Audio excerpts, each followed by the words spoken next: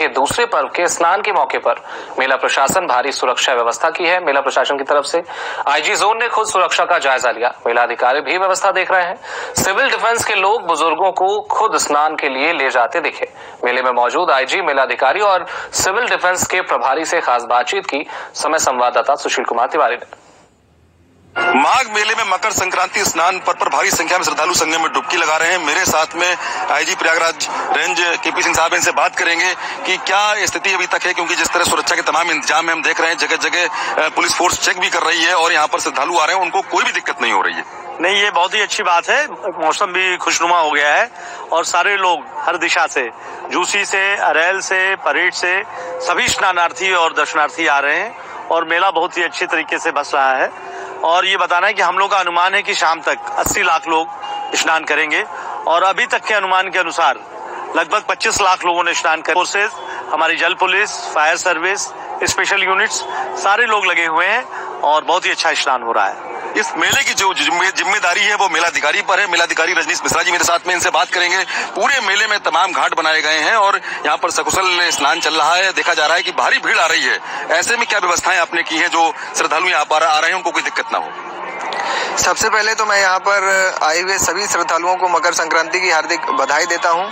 साथ ही यहाँ पर आने वाले सभी जितने भी कल्पवासी हैं, साधु महात्मा हैं, बाहर से जितने भी लोग आए हुए हैं, सभी का हार्दिक स्वागत करते हुए मैं माघ मेला प्रशासन की तरफ़ से श्रद्धालुओं की सुरक्षा के लिए, उनके बेहतर स्नान के लिए, हर तरह की सुविधाएँ माघ मेला प्रशासन के द्वारा दी गई हैं। हम लोगों ने लगभग सात से आठ किलोमीटर लंबे घाट बनाए हुए हैं। सभी घाटों की फ्लोटिंग बैरिकेडिंग्स के द्वारा बैरिकेड बैरिकेड करा दिया गया है। वहाँ पर एनडीआरएफ एसडीआरएफ और जल पुलिस की टीम हमारी तैनात है, जिससे स्नान के समय श्रद्धालुओं को किसी तरह की कोई दिक्कत ना हो।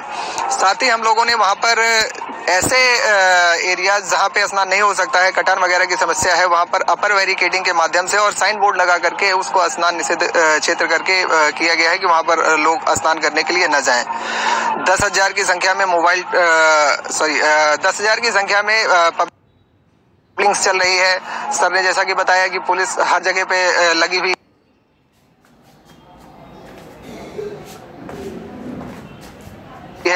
जगह जगह पर यात्रियों की एकदम पुलिस फ्रेंडली व्यवहार कर रही है। हम उनको मार्गदर्शन भी दे रहे हैं कैसे क्या करना है कहाँ जाना है, कहाँ स्नान करना है। पूरा एकदम बेहतर समन्वय पुलिस और प्रशासन के बीच में चल रहा है, जिससे माघ मेले को सकुशल संपन्न कराया जा सके। सबसे बड़ी बात है, अस्सी लाख श्रद्धालु संगम में डुबकी लगाएँगे। स्वच्छता पर विशेष ध्यान दिया गया है। दस हज़ार टॉयलेट यहाँ पर लगाए गए हैं। और भी अन्य टॉयलेट जो शिविर में वो अलग है। तो ऐसे में कहीं ना कहीं जो मेलाधिकारी बता रहे हैं कि पूरे मेले को स्वच्छ रखा गया है। बहुत बड़ी बात है कि इतनी जब भीड़ आती है, इतना स्वच्छ रख पाना बहुत मुश्किल होता है। मेरे साथ में सिविल डिफेंस के प्रभारी भी हैं। सिविल डिफेंस भी काफ़ी अपना योगदान दे रही है। जो भी श्रद्धालु आ रहे हैं, उनको घाट तक पहुंचाना, उनको ठीक तरह नहलाना और साथ में यहाँ तक कि जो वृद्ध हैं, उनका विशेष ध्यान देना। अनिल कुमार जी, आप काफ़ी ध्यान दे रहे हैं। जो वृद्ध आ रहे हैं, उनको भी आप नहलवा रहे हैं। क्या कहना है? बहुत बहुत धन्यवाद। सभी श्रद्धालुओं का हार्दिक स्वागत और अभिनंदन है।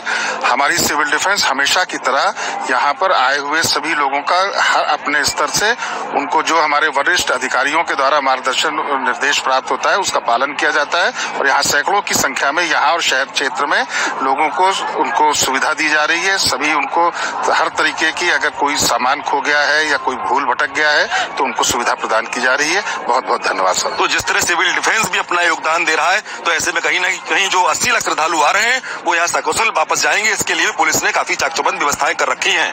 सहारा समय के लिए कैमरामैन शिवेंद्र विक्रम के साथ सुशील कुमार तिवारी, प्रयागराज से। तो चलिए चलते चलते एक नज़र डाल लेते हैं हेडलाइंस पर।